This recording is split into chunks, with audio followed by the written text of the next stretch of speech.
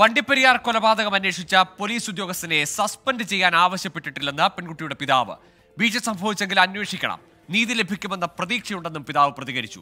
കേസന്വേഷണത്തിലെ പിഴവ് ചൂണ്ടിക്കാണിച്ച് T D സുനിൽകുമാറിനെ കഴിഞ്ഞ ദിവസം സസ്പെൻഡ് ചെയ്തിരുന്നു.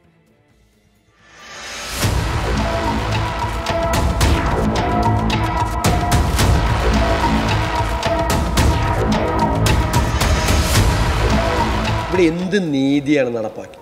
ഫ്രം ദ ഡേ വൺ ഈ സംഭവം നടന്ന അന്നു മുതൽ ഈ പ്രതിയെ രക്ഷപ്പെടുത്തുന്നതിന് വേണ്ടിയിട്ടുള്ള ശ്രമങ്ങളുടെ പരമ്പരയാണ്. തെളിവുകൾ നശിപ്പിക്കാൻ വേണ്ടി മനഃപൂർവമായി ഇത് ചെയ്യുകയായിരുന്നു സർ.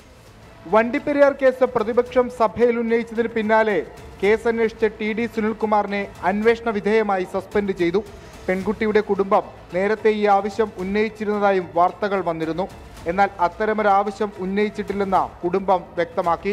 മുഖ്യമന്ത്രിയിൽ പൂർണ വിശ്വാസമുണ്ട്. തങ്ങൾ നിർദ്ദേശിക്കുന്ന പ്രോസിക്യൂട്ടറെ നിയോഗിക്കാമെന്ന് ഉറപ്പ് ലഭിച്ചതായും പെൺകുട്ടിയുടെ പിതാവ് വ്യക്തമാക്കി. മുഖ്യമന്ത്രിയെ നമുക്ക് വിശ്വാസമാണ്.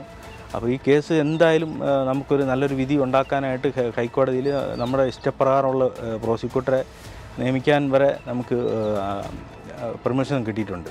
അപ്പോൾ അങ്ങനെ ഉള്ളപ്പോൾ നമുക്ക് ഇതിനെക്കുറിച്ച് ഇതിനകത്ത് വീഴ്ചകളെക്കുറിച്ച് അദ്ദേഹം അന്വേഷിക്കുന്നുണ്ട് എന്നുള്ളതാണ് ഇതിനകത്ത് പറയാനുള്ളത്.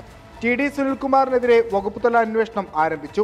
രണ്ടു മാസത്തിനുള്ളിൽ റിപ്പോർട്ട് നൽകാനാണ് ആഭ്യന്തര വകുപ്പിന്റെ നിർദ്ദേശം. എറണാകുളം റൂറൽ അഡീഷണൽ പോലീസ് സൂപ്രണ്ടിനാണ് ചുമതല.